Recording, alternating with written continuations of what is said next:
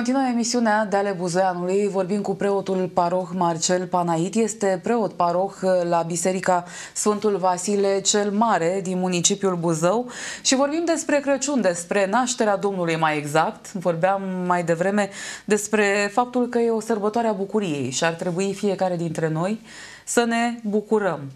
Și vă întrebam de asemenea dacă toate grijile pe care le avem în fiecare zi, superficiale sau nu, că depinde cum le privim noi, atât de, de greu ne apasă, dacă aceste griji ne lasă să ne bucurăm, cum le dăm la o parte, cum ne curățăm de toate cele? Mai întâi de toate avem nevoie de o pregătire. Postul acesta al nașterii Domnului este postul bucuriei. Și uh, de aceea să știți, sunt și multe dezlegări la pește. Unii se întreabă, dar de ce atâtea dezlegări la pește?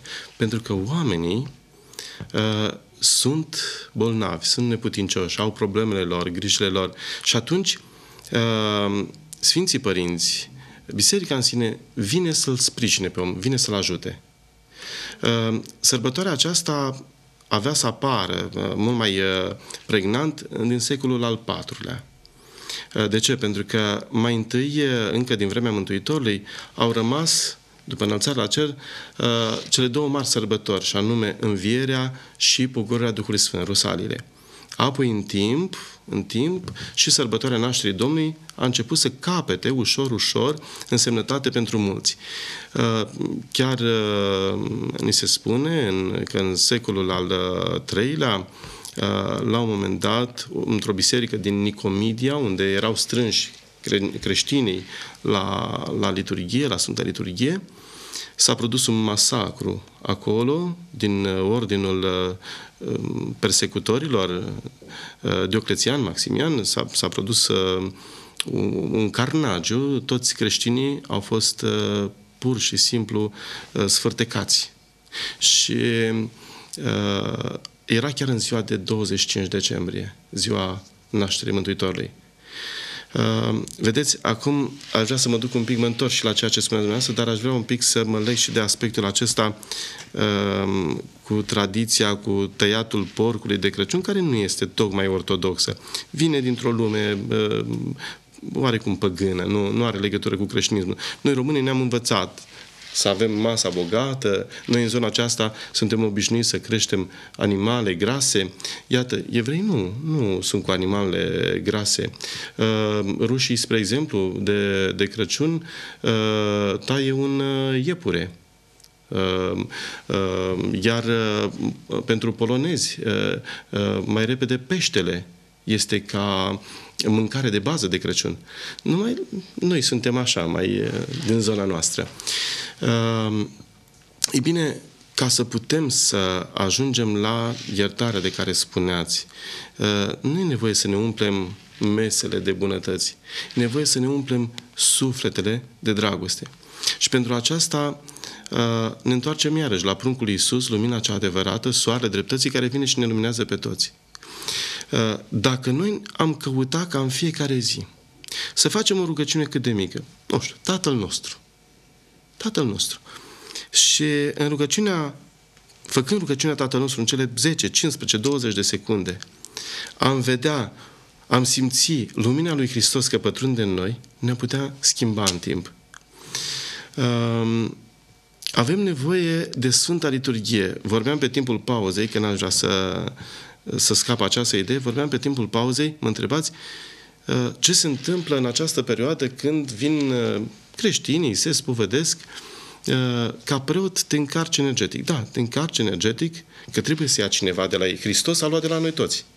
Preotul vine și spune hai cu mine, stăm în genunchi la picioarele crucii tale, Doamne, sau la peștera ta, Doamne, așa, și aici aducem darul nostru. Din păcate, darul nostru este plin de păcate. Ăsta este darul nostru. Lăsăm aici ceea ce este de lăsat și care ne apasă și luăm ceea ce este frumos și luminos și plecăm cu, cu Hristos acasă.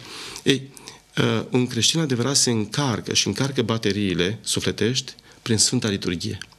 Participarea la Sfânta Liturghie, cântarea omofonă, adică uh, cântarea în comun, nu face nimic altceva decât să te înalțe.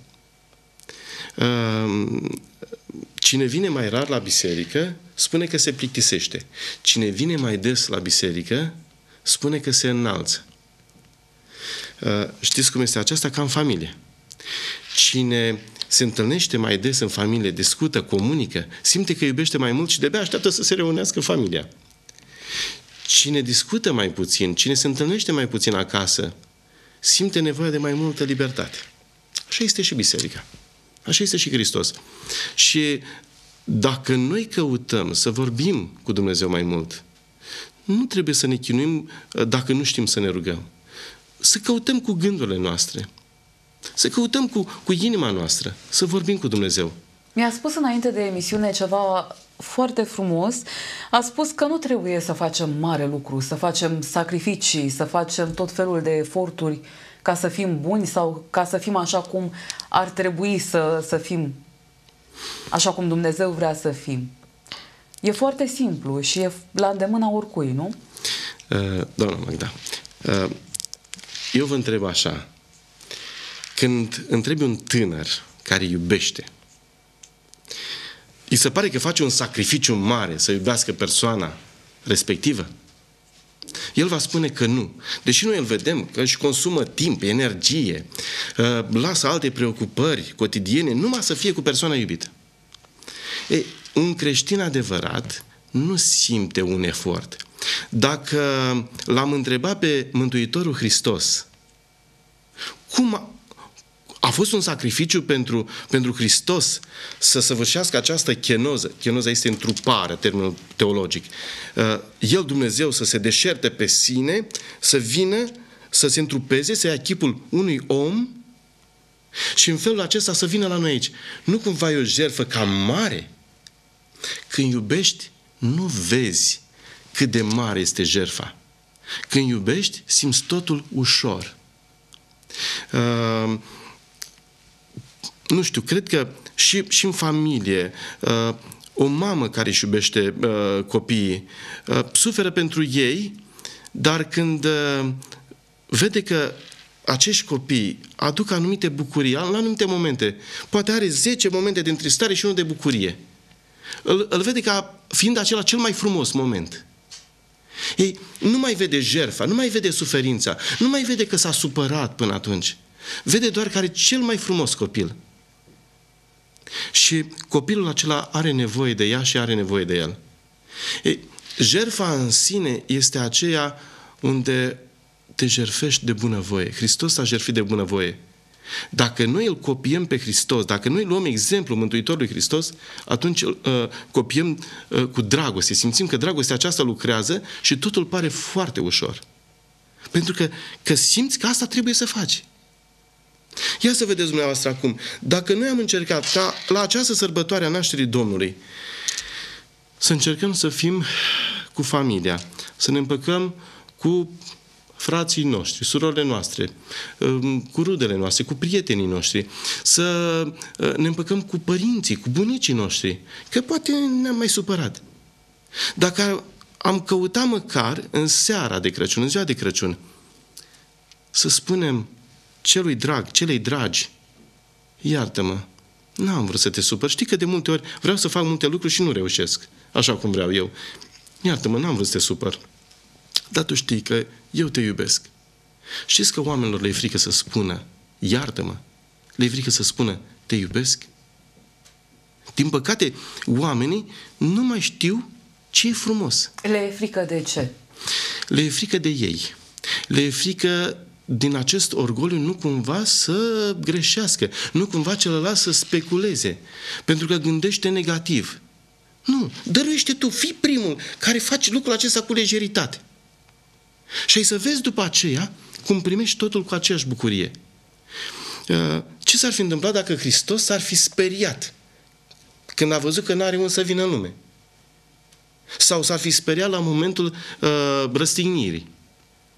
Nu a, a lăsat totul să curgă de la sine, dar a făcut gestul acesta cu dragoste. Nu poți, nu poți să faci un lucru frumos fără jerfă. Des, un, da, scuze, vă ascult, vă ascult. Un, un, uh, un sportiv, un, nu un sportiv, un muncitor, un om care muncește, și lucrează, nu știu, un strungar, deși nu știu dacă mai sunt strungari în ziua de astăzi, așa, un, un om care lucrează din greu ca să iasă o, piasă, o piesă. Și el se chinuie, are acolo un plan, știe ce are de făcut. Vă dați seama că din dorința ca acea piesă să iasă bine, nu mai interesează cât timp îi ia. Ci bucuria produsului finit îl interesează cel mai mult. Așa trebuie să vedem și uh, uh, starea aceasta de creștin. Omul care luptă să se bucure. Dacă noi am căutat să facem din fiecare clipă o bucurie, atunci am fi fericiți. Știți, dictonul acela uh, latin, uh, carpe diem, trăiește, trăiește ziua, trăiește clipa. Uh, dacă noi am încercat să o trăim așa cum se cuvine, punându-L pe Hristos în centru, în iesla noastră. Dacă noi l-am pune pe Hristos aici, cu siguranță ne-am raportat la El și atunci noi am fi fericiți. Și toate lucrurile rele s-ar duce către Hristos și l-ar spune, eu nu pot să-l las pe copilul meu, cum îi spune lui, nu pot să-l las pe, pe creștinul meu fără, fără ajutor. Eu primesc tot răul acesta. Și atunci normal că ne protejează. Dar dacă eu sunt în mijlocul tuturor, n-am nevoie de Dumnezeu, tot răul vine la mine. Și nu mai știu cum să mai fac față. Revenim la ideea de egoism. Din păcate. Și spuneați că e singura cauză pentru care nu mai uh, sunt atât de bune lucrurile în ziua de astăzi, relațiile interumane scârție destul eu spun, de mult. Eu spun egoism, dar ea spune mai creștinește așa, lipsa lui Dumnezeu din sufletul nostru. Vorbeam mai devreme despre oamenii care vin în această perioadă și, în general, în preajma marilor sărbători, oamenii vin la biserică, majoritatea pentru a-și mărturisi păcatele și despre faptul că există o încărcare și a preotului. Concluzia dumneavoastră, care ar fi? Care e problema cea mai mare a oamenilor în momentul de față? Lipsa iubirii față de aproape sau sunt alte probleme? Pentru că avem foarte multe situații de deznădejde, tineri care ajung la sinucidere, tineri care își pierd drumul și își pierd rațiunea. Ce ar trebui să facă? Cine să-i ajute? Cu siguranță, pe toți oamenii, pe noi toți ne ajută Dumnezeu. Numai ca noi să-L căutăm. Dacă noi ne ducem spre Dumnezeu, facem un pas spre Dumnezeu, Dumnezeu ne primește. Exact ce spuneam mai înainte, eu stau la ușă și bat, spune Hristos, de va veni cineva și îmi va deschide, voi intra și voi cina cu el. Aș face o paranteză, văzusem uh, pe internet o imagine, mă rog, o caricatură, cu un om care se afla în apă, în mare, se înneca. Iar pe margine erau mai mulți oameni cu telefoanele care fotografiau. Se pună pe Facebook, mă rog, pe un site de socializare. Vedeți, uh, acea caricatură nu făcea altceva decât să arate starea noastră uh, care nu este una de creștin. Creștinul adevărat s-ar duce acolo și l-ar ajuta. Iar prinde mâna aceluia și l-ar scoate de acolo. Ce înseamnă Hristos? Hristos înseamnă uns. Mesia, Meșua, cel așteptat, era unsul lui Dumnezeu, cel pe care îl așteptau toți, regele izbăvitor. Dar el mai era ceva. Era Iisus. Era Salvatorul, Mântuitorul. Închipuiți-vă că în această apă se află omul în necaz. Mântuitorul stă aici pe mal și el spune, vin încoace la mine. Tu doar trebuie să întinzi mâna. Petru era în apă, pe mare. Și la un moment dat i-a cerut Mântuitorului să vină, uh, i-a cerut Mântuitorul să vină la el. Și ce vină la mine? Și în timpul ăsta Petru a început să meargă pe apă. Când s-a îndoit că acolo este Hristos, că este Dumnezeu, a început să uh, se scufunde. Și Mântuitorul l-a prins repede de braț și l-a ridicat. Dar Petru deja avea mâna ridicată spre Isus. Și l-a ridicat și l-a salvat. Ei, asta trebuie să facem noi, să întindem o mână, să întindem o inimă spre Dumnezeu. Dacă nu ne ridicăm sufletul spre Dumnezeu, Hristos pur și simplu rămâne cu răsunet doar în urechile noastre și nimic mai mult, pentru că noi nu vrem să-L acceptăm. Suntem pur și simplu fără rezonanță. Hristos nu mai are rezonanță în inima noastră. Nu ne poate lua cu forța pentru că Dumnezeu ne-a dat liber arbitru, nu? Uh, ne-a dat liberul arbitru și uh, foarte frumos uh, um, am un citat din patristică. Uh, Dumnezeu este Cel care ne-a creat fără voia noastră, dar nu ne mântuiește fără voia sau fără acordul nostru. Deci, El în marea sa iubire ne-a creat fără să fim noi de acord, ca gest de iubire, dar noi nu ne putem mântui fără acord, fără liberul arbitru. Deci avem nevoie de lucrul acesta, avem nevoie să-L căutăm pe Dumnezeu, avem nevoie să de, ne deschidem această iezle săracă, egoistă, plină de paie sufletești și care sunt mai mult spin decât paie. Să-L primim pe Hristos, să încălzească acest staul și în felul acesta o să simțim cu adevărat că toți ceilalți vin la noi și vin cu dragoste. Și uh, vor simți nu doar să ne aducă ei dragoste, vor veni că vor vedea dragostea din noi. Și nu că noi avem dragoste, că este Hristos în noi. El oferă dragostea din noi. Nu vi s-a întâmplat niciodată să spuneți, uite un om uh, frumos. Nu neapărat fizic, un om frumos sufletește. Sau îmi place, este un om extraordinar, este un om frumos. Îmi merge la inimă. De ce? Pentru că simțim că e plin de bunătate. Dacă vedem un om rece, uh, respingător, uh, avem tendința să credem că acolo nu, parcă n-ar fi ceva bun. Uh, îmi dă nesiguranță. Omul cald este acela care te face să te duci spre el cât mai mult. Îți place să stai cât mai mult cu acel om. De ce? Pentru că îi simți căldura. Și nu pentru că îi aparține căldura. Căldura aceasta vine din altă parte, vine de la Creator. Vorbeam cu cineva care se uh, ocupă cu instalații din acestea solare. Și spunea, domnule, zic, e, e într-adevăr o minunăție a tehnologiei de acum. Zic, ca să poți să oferi căldură așa gratuit în toate casele, la care zice, părinte, nu eu, nu noi, nu aparatura. Creatorul duce lumina, energia acolo, iar noi nu facem altceva decât să o dăruim mai departe. Da, frumos spus, într-adevăr. Ne apropiem, a trecut foarte repede timpul. Ar mai fi multe de spus și v-aș asculta eu ore în șir, dar aș vrea să le spuneți telespectatorilor în final ce ar trebui să facă, pentru că am tot vorbit toată emisiunea, dar în câteva cuvinte, cum să se bucure de sărbători? În primul rând să fie ei înșiși. Să se bucure de aceste clipe pe care încă le trăiesc și să ne bucurăm toți de aceste clipe pe care le trăim. Să ne bucurăm de cei dragi. Să căutăm să-i facem fericiți pe cei dragi de lângă noi. Pentru că fericirea pe care le dăruim o simțim înapoi în inima noastră. Este bumerangul iubirii, dacă pot spune așa, pe care îl aruncăm ca să primim iubire. Pentru ca sărbătorile să fie fericite, nu putem să stăm doar noi să aruncăm această iubire, să oferim această iubire.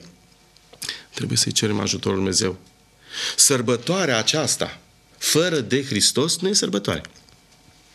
Dacă doar ne pregătim pentru masa bogată și nici măcar în ziua de nașterea Domnului nu intrăm în biserică să aprindem o lumânare, să îl căutăm pe Dumnezeu cu ieslea sufletului nostru și să-i spunem să coboare în noi. Nu știu, nu contează timpul cât stăm la liturghie. Contează timpul în care comunicăm cu Dumnezeu. Să putem să aprindem o lumânare pentru cei dragi. Să-i ducem steluța aceea a pruncului și la bunicul și la bunica, la toți cei dragi.